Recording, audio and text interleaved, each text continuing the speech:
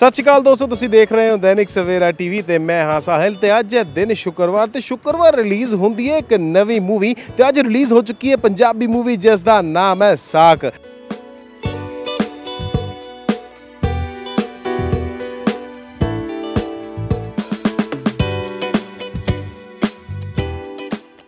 ਇਸ movie star ਕਰ ਰਹੇ ਨੇ ਜੋਬਨਪ੍ਰੀਤ ਸਿੰਘ ਮੈਂਡੀ ਟੱਖਰ, ਮਹਾਵੀਰ ਪੁੱਲਰ ਤੇ ਮੁਕੁਲ ਦੇਵ। ਤੇ ਇਸ ਮੂਵੀ ਨੂੰ ਡਾਇਰੈਕਟ ਕੀਤਾ ਹੈ ਕਮਲਜੀਤ ਸਿੰਘ ਨੇ। ਇਸ ਮੂਵੀ ਦੇ ਟ੍ਰੇਲਰ ਨੂੰ ਜਦ ਰਿਲੀਜ਼ ਕੀਤਾ ਗਿਆ ਸੀ, ਤੇ ਦਰਸ਼ਕਾਂ ਨੇ ਇਸ ਮੂਵੀ ਦੇ ਟ੍ਰੇਲਰ ਨੂੰ ਭਰਵਾਂ ਹੁੰਗਾਰਾ ਦਿੱਤਾ ਸੀ। ਤੇ ਅੱਜ ਇਹ ਮੂਵੀ ਜਦ ਰਿਲੀਜ਼ ਹੋ ਗਈ ਹੈ, ਤੇ ਉਹ ਦਰਸ਼ਕਾਂ ਤੋਂ ਜਾਣਨ ਦੀ ਕੋਸ਼ਿਸ਼ ਕਰਦੇ ਆ ਕਿ ਉਹਨਾਂ ਨੂੰ ਇਹ ਮੂਵੀ ਕਿਹੋ ਜਿਹੀ ਲੱਗੀ ਹੈ। ਲੈਟਸ ਗੋ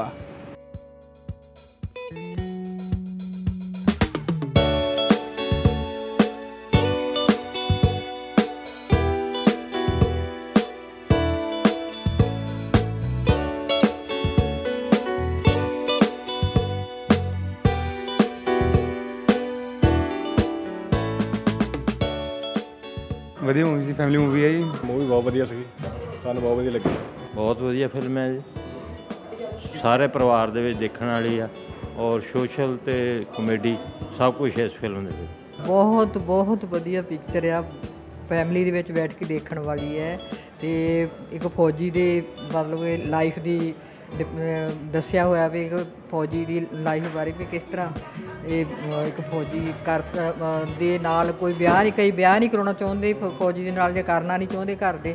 ਪਰ ਐਂਡ ਦੇ ਵਿੱਚ ਜਿਹੜਾ ਫੌਜੀ ਆ ਉਹ ਬਹੁਤ ਵਧੀਆ ਮਤਲਬ ਕਿ ਦਿਖਾਉਂਦੇ ਆ ਬਹੁਤ ਵਧੀਆ। ਮੂਵੀ ਵਧੀਆ ਸੀ ਬਸ ਥੋੜੇ ਜਿਹੇ ਸੌਂਗ ਹੀ ਸੀਗੇ ਉਤਾਰੇ ਮੂਵੀ ਵਧੀਆ ਸੀ ਬੈਟਰ ਸੀ। ਬਹੁਤ ਵਧੀਆ ਸੀ ਮੂਵੀ ਬਹੁਤ ਵਧੀਆ ਮੂਵੀ ਸੀ ਥੋੜੀ ਰੋਮਾਂਟਿਕ ਸੀ ਫੌਜੀ ਦੀ ਕਹਾਣੀ ਸੀਗੀ। ਬਹੁਤ ਵਧੀਆ ਮੂਵੀ ਲੱਗੀ ਜੀ ਮੈਨੂੰ। ਮੂਵੀ ਅੱਛੀ ਥੀ ਲਵ ਸਟੋਰੀ ਥੀ। ਜੀ ਬਹੁਤ ਵਧੀਆ ਮੂਵੀ ਸੀ। ਕਿਸੇ ਵੀ ਮੂਵੀ ਦੀ ਕਹਾਣੀ ਨੂੰ ਬਣ ਕੇ ਰੱਖਦੇ ਨੇ ਉਸ ਮੂਵੀ ਦੇ ਕਿਰਦਾਰ ਤੇ ਉਹ ਦਰਸ਼ਕਾਂ ਕੋਲੋਂ ਜਾਣਨ ਦੀ ਕੋਸ਼ਿਸ਼ ਕਰਦੇ ਆ ਕਿ ਸਾਖ ਮੂਵੀ ਦੇ ਕਿਸ ਕਿਰਦਾਰ ਦੀ ਐਕਟਿੰਗ ਉਹਨਾਂ ਨੂੰ ਸਭ ਤੋਂ ਜ਼ਿਆਦਾ ਅੱਛੀ ਲੱਗੀ ਹੈ। ਜੋ ਨया ਐਕਟਰ ਹੈ ਨਾਮ ਤਾਂ ਪਤਾ ਨਹੀਂ ਹੈ ਜੀ। ਹਾਂਜੀ ਹਾਂਜੀ ਉਹਨਾਂ ਦੀ ਐਕਟਿੰਗ ਬਹੁਤ ਸਿੰਪਲ ਐਂਡ ਐਕਸਟਰਾordinary ਸਮ ਮੈਂਡੀ ਮੈਂਡੀ ਬਹੁਤ ਵਧੀਆ ਸੀ। ਐਕਟਿੰਗ ਦੋਨਾਂ ਦੀ ਅੱਛੀ ਹੈ। ਹਾਂਜੀ। ਐਕਟਿੰਗ ਜੋਬਨਪ੍ਰੀਤ ਦੀ ਬਹੁਤ ਵਧੀਆ ਨਵਾਂ ਮੁੰਡਾ ਹੈ ਭਾਵੇਂ ਪਰ ਬਹੁਤ ਵਧੀਆ ਔਰ ਮੈਂਡੀ ਤੱਖਰ ਦੀ ਵੀ ਬਹੁਤ ਵਧੀਆ। ਐਕਟਿੰਗ ਬਹੁਤ ਵਧੀਆ ਲੱਗੀ ਉਹਨਾਂ ਦੀ। ਦੋਨਾਂ ਦੀ ਵਧੀਆ ਲੱਗੀ। ਸਿੰਗਰ ਵੀ ਸੀਗੇ ਜਿਹੜਾ ਨਾਲ ਐਕਟਿੰਗ ਵੀ ਕਰਦੇ ਸੀਗੇ।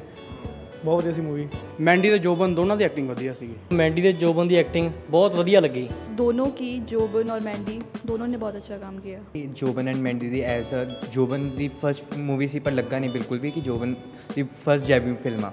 ਇੱਕ ਮੂਵੀ ਦੀ ਕਹਾਣੀ ਤਾਂ ਐਂਟਰਟੇਨ ਕਰਦੀ ਹੀ ਹੈ ਪਰ ਇੱਕ ਮੂਵੀ ਦੇ ਗਾਣੇ ਵੀ ਖੂਬ ਐਂਟਰਟੇਨ ਕਰਦੇ ਨੇ। ਤੇ ਉਹ ਦਰਸ਼ਕਾਂ ਕੋਲੋਂ ਜਾਣਨ ਦੀ ਕੋਸ਼ਿਸ਼ ਕਰਦੇ ਆ ਕਿ ਉਹਨਾਂ ਨੂੰ ਸਾਖ ਮੂਵੀ ਦਾ ਕਿਹੜਾ ਗਾਣਾ ਪਸੰਦ ਆਇਆ?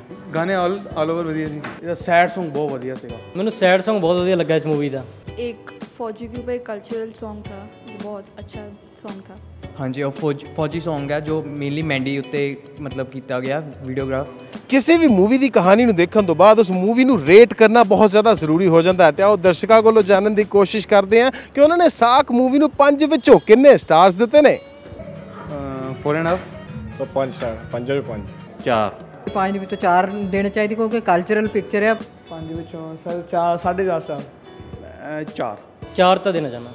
4.5 ਇਟਸ ਆਲ ਅਬਾਊਟ 4.5 ਸਾਕ ਮੂਵੀ ਦੀ ਕਹਾਣੀ 1970 ਦੇ ਟਾਈਮ ਦੀ ਫਿਲਮ ਹੈ ਜਿਸ ਦੇ ਵਿੱਚ ਦਿਖਾਈ ਗਈ ਹੈ ਇੱਕ ਫੌਜੀ ਦੀ ਲਵ ਸਟੋਰੀ ਤੇ ਜਦੋਂ ਜਹਿਦ ਉਸ ਫੌਜੀ ਦੇ ਵਿਆਹ ਨੂੰ ਲੈ ਕੇ ਕਿਉਂਕਿ ਉਸ ਟਾਈਮ ਦੇ ਉੱਤੇ ਕਿਹਾ ਜਾਂਦਾ ਸੀ ਕਿ ਸ਼ਾਇਦ ਫੌਜੀ ਦਾ ਵਿਆਹ ਜਿਹੜਾ ਹੈ ਉਹ ਬਹੁਤ ਔਖਾ ਕੀਤਾ ਜਾਂਦਾ ਹੈ ਤੇ ਉਸੇ ਚੀਜ਼ ਨੂੰ ਦਿਖਾਇਆ ਗਿਆ ਇਸ ਫਿਲਮ ਸਾਕ ਦੇ ਵਿੱਚ ਬਟ ਜੇ ਤੁਸੀਂ ਇਹ ਫਿਲਮ ਦੇਖੀ ਹੈ ਤੇ ਤੁਹਾਨੂੰ ਇਹ ਫਿਲਮ ਕਿਹੋ ਜਿਹੀ ਲੱਗੀ ਹੈ ਕਮੈਂਟ ਕਰਕੇ ਸਾਨੂੰ ਜ਼ਰੂਰ ਦੱਸੋ ਨੀਚੇ ਦਿੱਤੇ ਗਏ ਕਮੈਂਟ ਬਾਕਸ ਦੇ ਵਿੱਚ ਤੇ ਨਵੇਂ ਤੇ ਲੇਟੈਸਟ ਅਪਡੇਟਸ ਲਈ ਤੁਸੀਂ ਜੁੜੇ ਰਹਿਣਾ ਦੈਨਿਕ ਸਵੇਰਾ ਟੀਵੀ ਦੇ ਨਾਲ ਤਦ ਤੱਕ ਦੇ ਲਈ ਸਾਹਿਲ ਨਰੂਲਾ ਨੂੰ ਦਿਓ ਇਜਾਜ਼ਤ ਸਤਿ ਸ਼੍ਰੀ का हाल है hello everyone my name is Deva Sethi I am from Phagwara और मैं 25 साल की हूँ। One of my friend from Jalandhar उन्होंने मुझे बॉडी फैप के बारे में बताया। सिर्फ़ तीन महीने यहाँ पे स्पेंड करने के बाद मैंने टोटल वेट लॉस यहाँ पे 16 के जी किया है और मेरा इंच लॉस भी 70 प्लस किया है। I would like to say please come here for a healthy weight loss and you will see the result thank you so much